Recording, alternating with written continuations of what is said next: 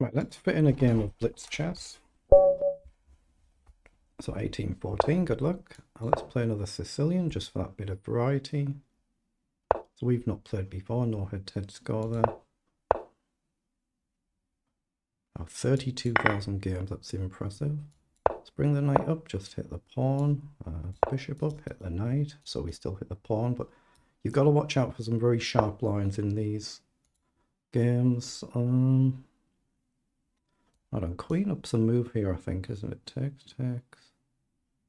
Yeah, I think queen up's a move here. I might be getting my theory wrong, but I think it is.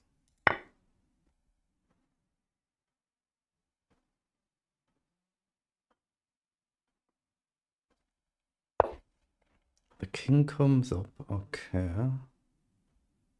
So we can take and allow takes here in castle, or we can take Allow takes here. I like the idea of that more. I think it's risky though, isn't it? We've got a queen check.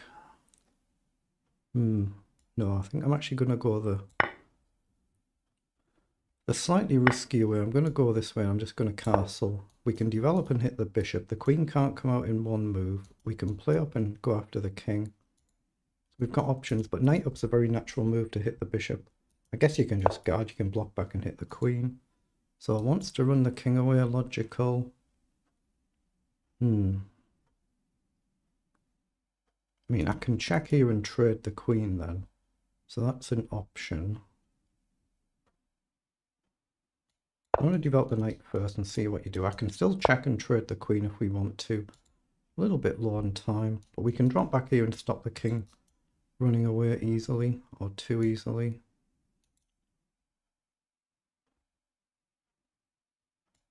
Yeah, let's just check and drop back.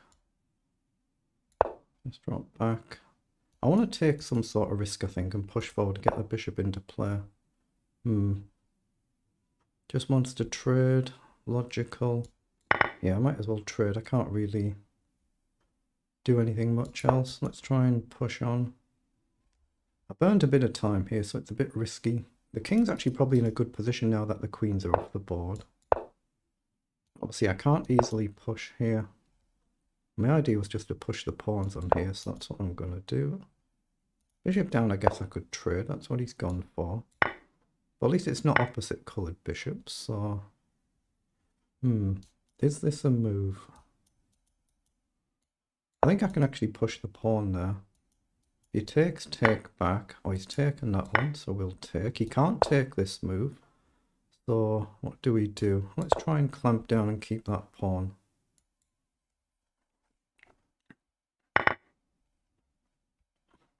What on earth do we do with this bishop? We've got one logical move. That connects our rooks. Um, he's going to get active, but we have to devote the bishop. That's probably a poison pawn, probably, isn't it? So I don't think we can take that pawn. So we'll probably just drop back here. Although is tempting us now. Tempting us now. Take down, down. We're probably getting trapped, aren't we? But here, down, up. Let's go for it, why not?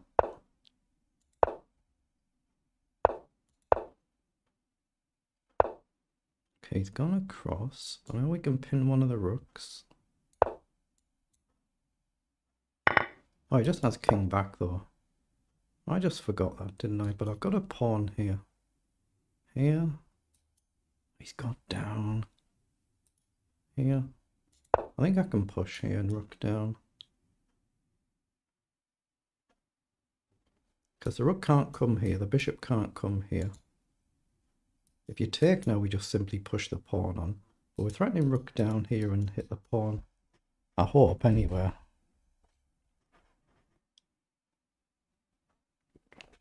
It was still probably a silly risk to go for, but we've done it now, so we can't take it back. Well, can't I just push and queen now?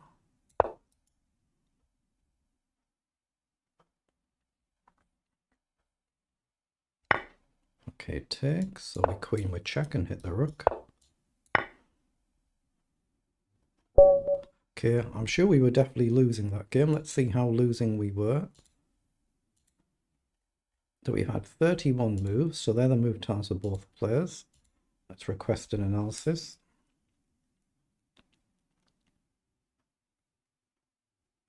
Yeah, so it was a bad pawn to take.